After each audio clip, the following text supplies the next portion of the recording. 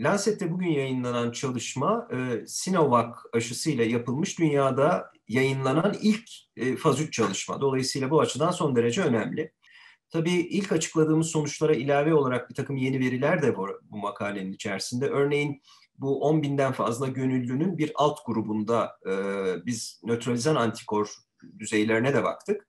Ve e, aşıdan sonra, iki doz aşıdan sonra 14 gün geçtikten sonra bu gönüllülerin %90'ında e, nötralizan antikor da ortaya çıktığını gösterdik.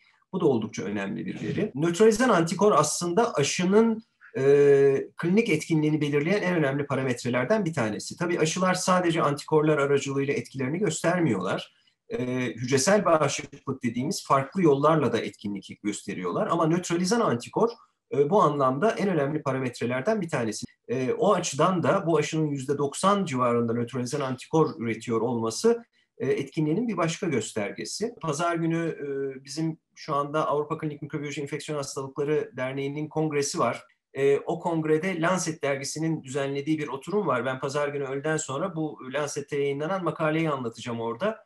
Ama makalede olmayan bir veri de var bizim elimizde. Bu verinin analizini yeni yaptık. Onu da şimdi sırası gelmişken burada açıklayayım isterseniz kısaca. Biz gönüllülerimizi yaklaşık ortalama 43 gün süreyle takip etmiştik. 43 gün sonrasındaki takiplerde bu gönüllülere ne olduğu bilinmiyordu. Dolayısıyla bunu da bir eksiklik olarak yazdık. Ama şimdi bizim elimizde ikinci doz aşısını olmuş gönüllülerin ki bu gönüllü sayısı 9494 164 günlük takip verileri var. Yani 164 günlük demek aşağı yukarı 5,5 aylık takip verisi var. Ve bu 5,5 aylık süre içerisinde iki doz Sinovac'la aşılanmış kişilerde 9494 kişinin 267 tanesi hastalanmış, e, yeniden hastalığa yakalanmış, aşılanmış olmasına rağmen. Bu oran %2.81. Ama bunların içerisinde bakıyorsunuz 236 tanesi ayakta geçirmiş hastalığı. Yani işte hafif, çok hafif olarak geçirmiş. Yüzde 2.49.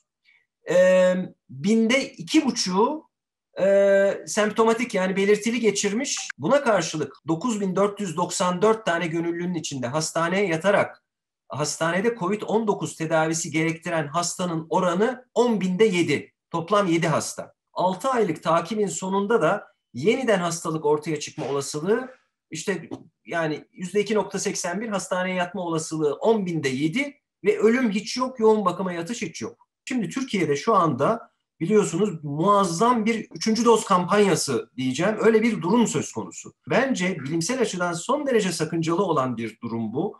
E, doğrudur varyantlara karşı bütün e, aşıların bir azalmış etkinliği söz konusu. Ama bu azalmış etkinlik hep nötralizan antikor üzerinden yapılan etkinlik. Dolayısıyla üçüncü dozun buna katkısı ne kadar olacak? Ama bir yandan katkısı olursa bu üçüncü dozların ekstra bir zararı olacak mı? Bir yan etkisi olacak mı?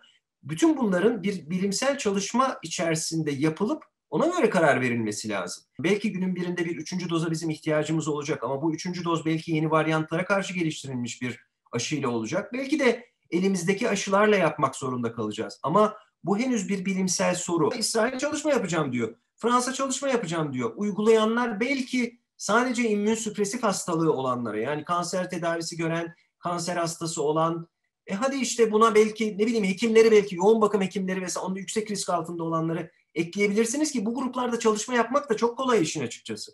Yani bunlar kolayca yapılabilecek şeyler. Onun için biz şöyle yapmayı planlıyoruz. Şimdi kendi gönüllülerimize eğer e, etik kurul bize onay verirse ki önümüzdeki hafta görüşülecek e, o gönüllülerimizi çağırıp e, aşı oldukları merkezlere onlara bir üçüncü doz çalışması, üçüncü doz aşı yapmayı düşünüyoruz. Bu, ama bu üçüncü doz aşı yapmadan önce onlardan kan örneği alıp nötralizan antikor bakacağız. Sonra da üçüncü doz aşı yapacağız. Üçüncü doz aşı yaptıktan 14-28 gün sonra da tekrar çağıracağız. Bir daha kan alacağız. Tekrar nötralizan antikor titresine bakacağız. Dolayısıyla bu sayede e, 6 aylık bir sürenin sonunda aşağı yukarı ikinci doz e, aşının etkinliğini ne olduğunu göreceğiz. Üçüncü doz aşı yaptıktan sonra da nötralizan antikor titresi nasıl artıyor? Hatta o arada yapabilirsek bu etkinliği varyant virüslerle de e, kıyaslamayı düşünüyoruz. Eğer yeterli bütçe bulabilirsek buna. Aşılanın ama mutlaka aşılanın. Ne ile aşılanırsanız aşılanın. Üçüncü doz aşı için de çok da acele etmeyin. Bu çalışmada 24 e, tane merkez yer alıyor. Biz de İstanbul'daki ana merkezlerden biriyiz. Çalışmaya en fazla gönüllü katılımı sağlayan merkezlerden biriyiz.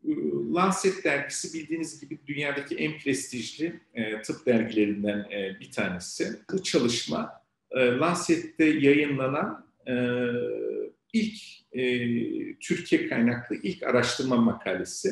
Türkiye'den pek çok COVID yayını yapılıyor.